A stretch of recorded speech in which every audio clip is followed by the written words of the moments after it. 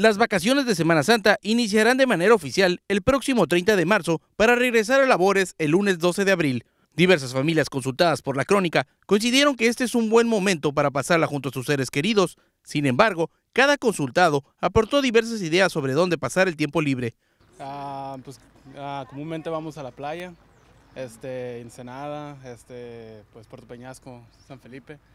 Este, pues me gustaría pasármela con mis hijos, con mi familia, con mi esposa. El bosque de la ciudad creo que sería una buena opción. Este, algún parque recreativo como por ejemplo, no sé, la universidad, Juventud 2000. Este, tienen varias actividades aquí en la ciudad y creo que es todo, ¿no? Muy bien. No hay muchas cosas que hacer. Pues el bosque está bien, como estos eventos que hacen para los niños. Y este, pues no sé, no hay mucho. Albercas, no sé, tienen que poner más, más lugares recreativos, la verdad. Sobre todo con albercas y áreas verdes, asadores y todo eso para el calor que hace.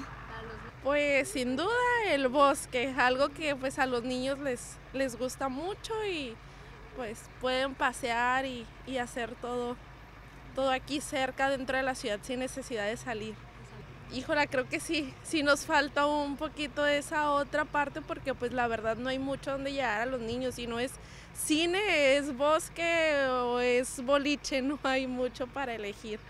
Pues el bosque es una muy buena opción, eh, el Sol del Niño, el Parque Vicente Guerrero es donde siempre acudimos los domingos. No es necesario gastar tanto, con, con venir a estos lugares está bien. Pues el trenecito y mirar a los animalitos. ¿El bosque? Ajá, sí. En la ciudad, pues la cachanilla y el otro, el Parque Vicente Guerrero, ubicales, partes frescas.